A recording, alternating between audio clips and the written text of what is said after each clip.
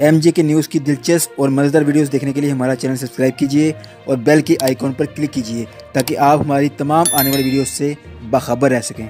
दोस्तों, आज आपने देखा पूरे वर्ल्ड कप में नाकबले शिकस्त रहने वाली इंडिया की टीम आज कैसे हार गई और हारने के बाद कैसे रो पड़ी, ऐसे रो पड़ी जैसे वो बेवा हो गई है। इंडिया का जो स्टेडियम था, मोदी स्टेडियम ऑस्ट्रेलिया ने उस स्टेडियम को शमशान घाट बना दिया। ये देख रहे हैं आप इस वक्त, कोहली कैसे रो रहा है, मोहम्मद शमी कैसे रो रहा है।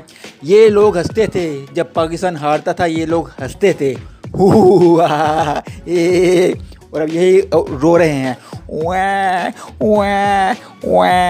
अब आप देखें, इसके बाद इनकी वाम क्या करती है?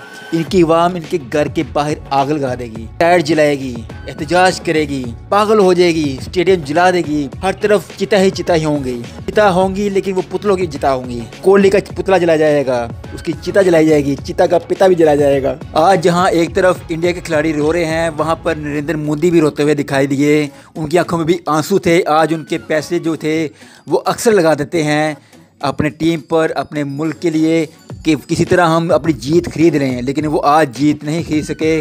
उनकी आँखों में भी आँसू साफ़ दिखाई दे रहे हैं।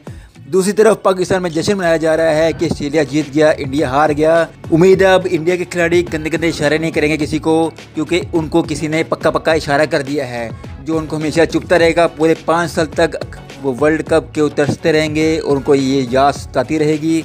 इनमें से कई खिलाड़ी जो हैं, उनको किक आउट कर दिया जाएगा, कईयों को हिला दिया जाएगा, कईयों को डरा दिया जाएगा, कईयों को अहदे से उतार दिया जाएगा। ये तजिया सिर्फ़ आपकी इंटरटेनमेंट के लिए था। अगर आपको बुरा लगा हो तो माजरत, लेकिन आप इंजॉय कीजिए, कोई जीते या हारे, हमें पाकिस्तान से प्यार है, ना ऑस्ट्रेलिया से, ना इंडिया से। अल्लाह हाफिज़।